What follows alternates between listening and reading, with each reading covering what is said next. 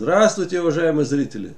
Хочу ознакомить вас с самой интересной информацией, что я нашел на сегодняшний день. В Армении развернут миссия ДКБ. Э, не понимаю, вроде бы Пашинян против был этой ДКБ, и он вообще хотел выйти, чтобы Армения с ДКБ. Сейчас здесь на границе между Арменией и Азербайджаном стоят наблюдатели стран НАТО, называемые голубые каски, там французы, немцы, в общем. А теперь еще и ДКБ сюда хотят представителей, чтобы они следили за, чтобы не было перестрелок. Каждый день какие-то новости. Решение о развертывании миссии ДКБ в Армении должны подписать все главы государств этих членов. Подпишут ли? А, еще вопрос, подпишут ли эти все представители АДКБ? Глава МИД России Сергей Лавров заявил, что рад тому, что Армения не отказывалась от развертывания миссии ДКБ, передает издание ЗЗ. Решение о развертывании миссии ДКБ в Армении было предметом многочасовых переговоров накануне саммита ДКБ в Ереване. Все министры иностранных дел его согласовали. Дело теперь за малым, чтобы все главы государств поставили свои подписи, сказал Лавров на пресс-конференции с главой МИД Армении Ратом Мирзаяном. Представляете, 4 часа между Лавровым и этим Мирзаяном шли переговоры. По его словам, возможность отправки миссии ДКБ сохраняется, а ДКБ к этому готова. Поэтому я рад, что Армения не отказывалась от этой возможности, которая отвечает за интересы обеспечения безопасности в регионе, сказал Лавров. Пашинян уже так замутил все здесь, я не понимаю. Там российская база в Гюмри, там эти натовские наблюдатели. Сейчас хотят засунуть миссия ДКБ, здесь миротворцы какие-то. В общем, Пашинян решил себя, как бы сказать, э, э, свою безопасность Армении всеми способами. Здесь Иран на границе уже учения проводит, угрожает Азербайджану.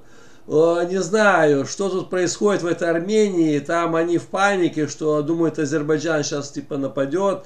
И они уже все готовы сюда засунуть, лишь бы только Э, не потерять территории. О каких территориях говорит Арарат Мирзаян? Вот еще вторая статья. Азербайджан заставит Армению выполнить требования заявления пунктов соглашения 10 ноября. Если Азербайджан армянской государственной границы не была демилитирована и демаркирована, о каких территориях говорит Арат Мирзаян?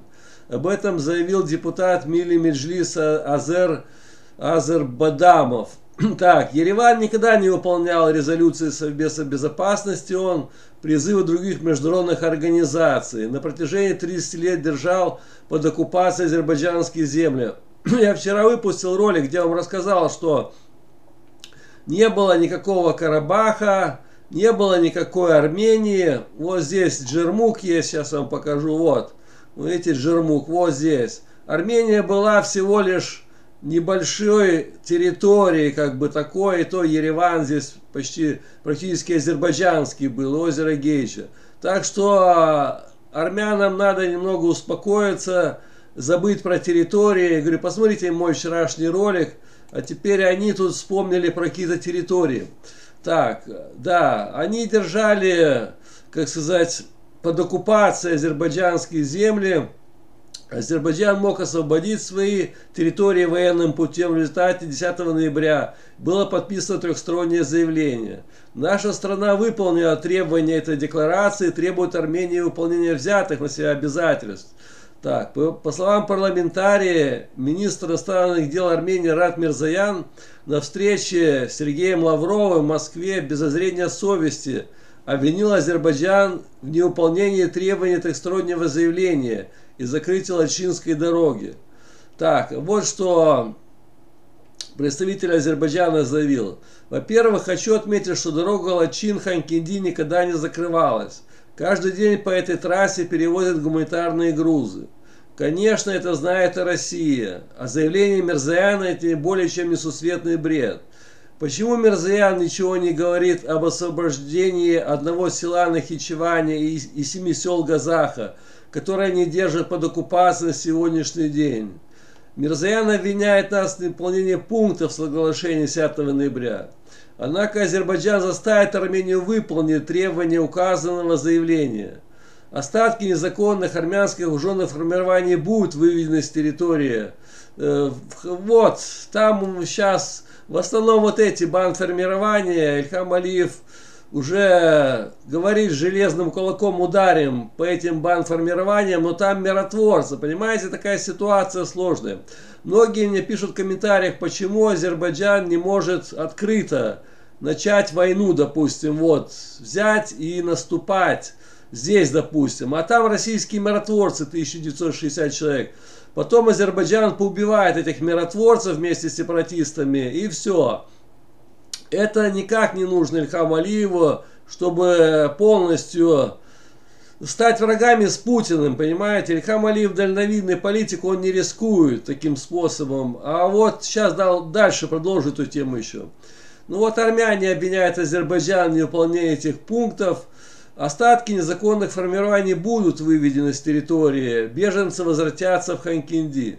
Зангизурский коридор тоже будет открыт. Пашинян взял на себя обязательство по выполнению этих требований, и мы будем требовать их выполнения. Азербайджан находится на правильном пути. Он сможет направить Армению на правильный путь, если не политическими методами, то железным кулаком, подчеркнул Бадамов. Все правильно. Вы понимаете, сейчас, чтобы Азербайджан начал эти боевые действия, допустим, даже здесь, вот я вам покажу, здесь вот сейчас все, войска Азербайджана стоят, могут хоть сегодня-завтра пойти в наступление, но американцы здесь, понимаете, американцы следят за ситуацией и сдерживают Азербайджан, а Азербайджан не хочет иметь э, плохих отношений с Америкой. Это будет головная боль, понимаете, для Ильхама Алиева, и чем дальше закончится, непонятно. США призвали Армению и Азербайджан к сдержанности, понимаете, сами американцы почему-то э, предупреждают Азербайджан, чтобы он не начал боевые действия. США призывает Армению и Азербайджан проявить сдержанность и предпринять шаги по деэскалации ситуации. Об этом говорится в заявлении представителя США Джона Кирби. Призываем все стороны деэскалации, хотим, чтобы все стороны предприняли соответствующие шаги для снижения напряженности и прекращения насилия. Отметил он в ходе брифинга в Белом доме. Так войну начать э, Ильхам Алиев бы хотел, может не войну, а освободить землю, но вокруг-то столько еще стран, которые его сдерживают. Думаете, так просто все это взять и вот и пойти в наступление и полностью тут разгромить эти войска? Это все, это на весь мир будет, все. Азербайджан агрессор, остановить. Армяне гибнут, их убивают, все, спасите, помогите. Пашинян уже тут засунул и все, что можно. И страны НАТО миротворцев, и АДКБ сейчас засунет миротворцев. Иран тут угрожает Азербайджану, что мы сразу же начнем войну с вами. Понимаете, такая ситуация очень сложная сейчас. Не так все просто, надо просчитывать наперед эти шаги. Общем, вот такая ситуация, вот такие новости. Всем спасибо. Всем пока, до новых встреч.